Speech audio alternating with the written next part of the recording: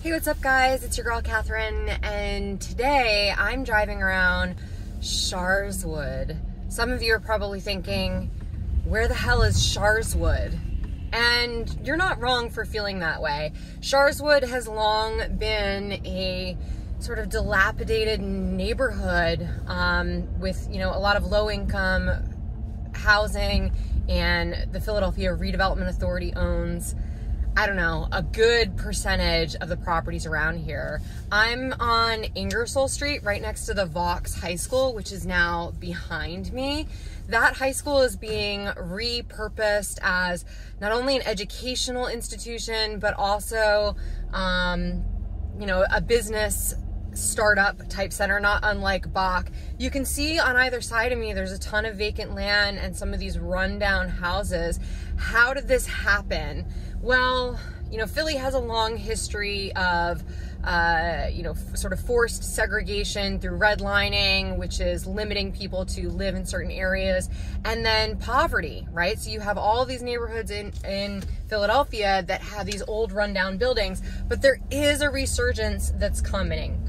So Sharswood location wise is north of Girard College. It's that big stone wall that some of you might have run into if you're driving up Ridge Avenue heading towards Manayunk or coming from Manayunk, going down Ridge Avenue into Francisville and west, west all the way out to about 26th Street where you hit um, Girard Avenue and Brewerytown proper starts. But this particular neighborhood here is just south of Strawberry Mansion um, and has a ton of opportunity. Small Change, uh, smallchange.org is a fundraising platform uh, where unaccredited investors over the age of 18 can put as little as $500 down and invest in socioeconomic development projects for returns that accredited investors would get.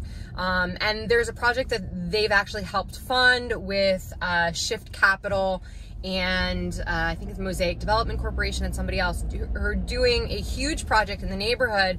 But you're already starting to see, like right next to me here, there's a ton of new construction uh, I know Phoenix Property Group has done a bunch in the neighborhood as well. These are all triplexes because there's a ton of properties that are zoned RM1. Now, if you live in Brewerytown or Sharswood and you own a property that's zoned RM1, that means it's a residential multifamily. And if it's currently used as a single family, you have the potential to divide that into three units maybe even more depending on the size of the property. So before you go ahead and sell it to a wholesaler, shoot me a DM or give me a call and let me know, um, you know, what your situation is and I'll give you some I'll give you the best advice that I can to leverage yourself into a better position using the property that you already have. Now, I'm already at 26th Street right now, which has the rec center that I play with my dog at all the time. This rec center has a pool, it has basketball courts, it has baseball fields, it has soccer nets. There's a ton of club sports that are out here all the time. There's a small playground for kids.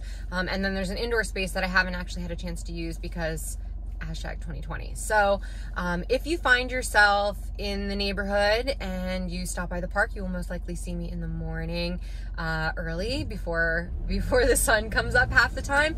And uh, if you're there in the late afternoon around 4:35, I'm usually there before I take showings and tours. So I'm gonna head back towards uh, Sharswood proper and show you guys around a little bit more. This little pocket south of the rec center is one of my favorite little neighborhoods. All of the houses are generally well kept. There's a couple of sort of boutique single family homes in the area and a ton of renovations that are happening left and right. Um, just here on Thompson Street, you'll find at least four multifamily projects that are up. There's a couple of giant lots here on 26th Street that were on the market previously for something like 2.6 million because you could build I think it was like 32 condos minimum, and I think somebody maxed out at like 64. Uh, I don't want to call them micro units, but obviously smaller units because the property size hasn't changed.